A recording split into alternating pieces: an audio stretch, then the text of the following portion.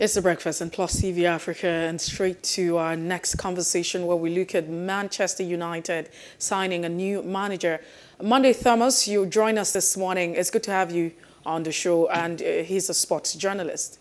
Good morning. Once again, it's great to be here. I'm always excited when it's weekend, when we are going to see some top flight football. Manchester United tomorrow against Arsenal. But the biggest the biggest news is Erik ten Hag joining them on a three-year contract with an option to extend to the fourth year. I can't wait to get on with it. Okay, so um, it, it's more like a coincidence that we're talking about um, Manchester United signing a new manager uh, Erik ten, mm-hmm. at the time where today in history, uh, David Moyes was also sacked and he got replaced. And so, what's the future of the club? We saw the last game with Liverpool, and we could actually, uh, you know, hear the coach saying. Uh, they don't have better players. Uh, you see that the reason for all of that is that uh, they don't have good players to match up the energy of Liverpool. so having this new manager now. Uh, what what do you think would become of the club? Do you see them making um, you know progress in becoming a better team? All right, Manchester United fans all over the world are still. Hello, can you hear me? Yeah, we can. Go ahead. Can I go ahead?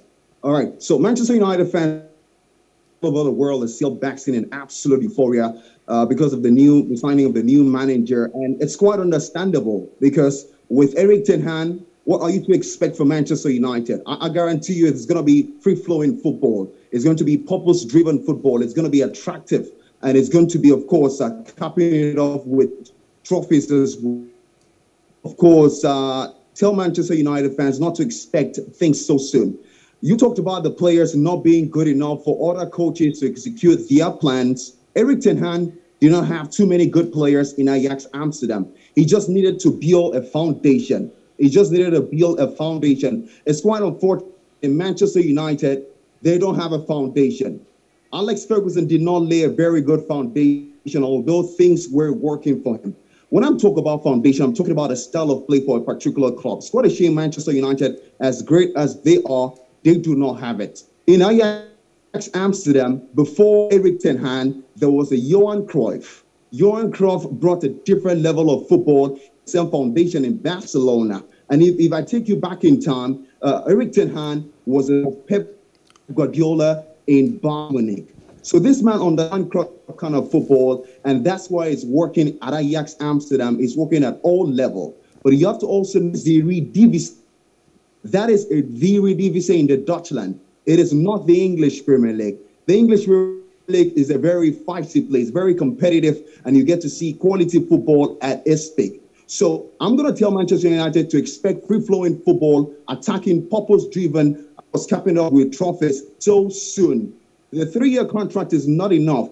Manchester United fans should not expect anything in the next season, in the the upper season, even in the third season where his contract is supposed to expire. Maybe they should start expecting the fourth season because it's not going to be so easy for Erik ten Hag to instill the philosophy his own philosophy right there for Manchester because they have been quote name players. Paul Pogba, big name player. I mean, Paul Pogba, if we go to 2017, it was a reason Jose Mourinho was fired. Cristiano Ronaldo, big name players, Harry Maguire. So they, the, the, the club sometimes have conflict. Who should they support in time of crisis? Should they go with the coach or should they go with the players? So it's going to take time for Erik ten Hag to instill a uh, philosophy of his own style of play, of his own style of play for Manchester United to be able to do great exploits as they are expecting from the new manager. It's going to be great football for them, but they need to be. All right, all right. Monday, um, a lot of people have um, sort of um, been setting um, an agenda for the new uh, Hemsman at Manchester United. Specifically, uh, Liverpool legend Jamie Carragher has asked him to sign or to sack two or three, uh, you know, you know, team members who are actually causing trouble for, the, for that particular club. How do you react to that? I think it's spot on because people are already leaving. I think some uh, days ago, the two chief scouts of Manchester United said goodbyes. I mean, I think things are, are beginning to unfold because of the recruitment policy, the recruitment skills is, is not really up to par. Because how can you sign a player 80 million pounds? I'm not saying Harry Maguire is such a very bad player, but it's not that big of a player to play for Manchester United. In quote, big club, a cultured club that way, of course, known for their trophy winning uh, exploits. But now you, they get just get to sign players because of the name they make, because of the maybe a one season and that's why they got signed. So I, will go with the big names, Jamie Carragher and Gary Neville, who are always criticizing uh, Manchester United and also talking about uh, Roy Roy Keane, a, a, big a big player for Manchester United way uh, way back, is also criticizing. I think a lot of things needs to be done. The board of trustees of Manchester United need to give Erik ten Hag the complete empowerment to make decisions. Because hmm. if you go back in that particular administration, the coaches do not have complete authority. Mm. So, but also, um, just like you have mentioned, with the style of play that Erik ten might just come with, uh, you know, he would require a lot of intensity and discipline. And some persons have said that some players will not actually um, offer that to him. And so that might also be a problem. The likes of Pogba and uh, you also have Rashford not having all of that amongst others. What do you think of this?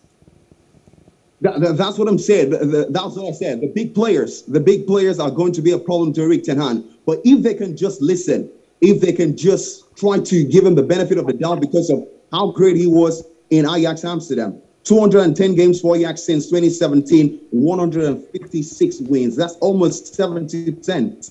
So this man, with it, with, with his antecedent, he is capable of doing magic at the of dreams. So they just need to listen to him. He's a young manager, but he can do wonders.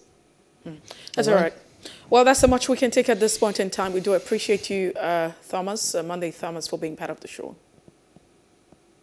All right. Thank you so much for having me again on this platform. It's always a pleasure.